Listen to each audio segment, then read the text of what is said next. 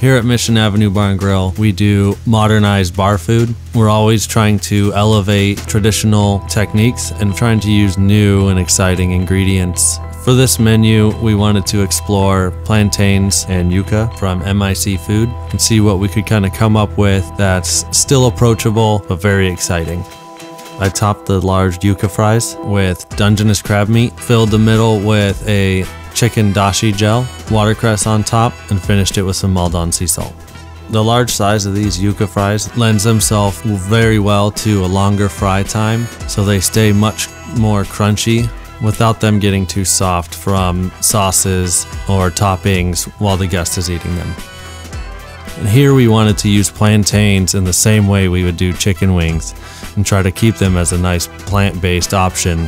To keep that nice crunchy exterior, we used potato starch and gave them a nice first fry.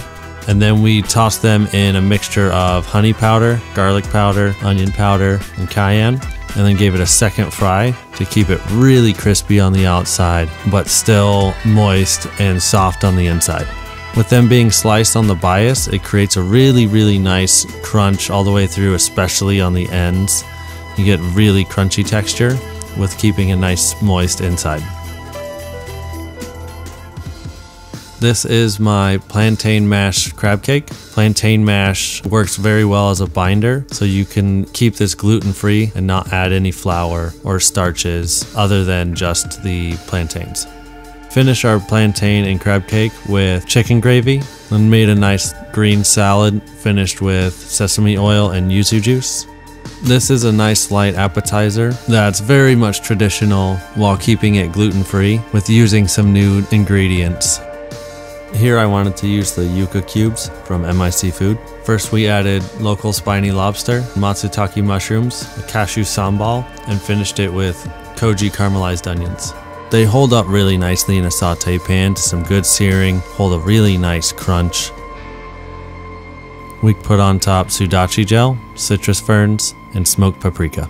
This is lobster ragu with yuca chunks. They are a great substitution instead of potatoes and really kind of hold their texture without becoming too mushy.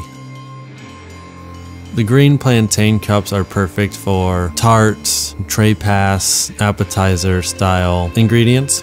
They're really versatile. You can lend them to sweet or savory preparations. Here I wanted to go with dessert and do a take on a creme brulee. I filled the green plantains with a white chocolate mousse Top that with flowers, citrus fern, and a burnt sugar glass to replicate the nice crunchy top of a creme brulee. It was fun exploring different techniques and traditional dishes while using yuca and plantains from MIC Food. To see the different textures and preparations while doing different takes on classic dishes that are very approachable.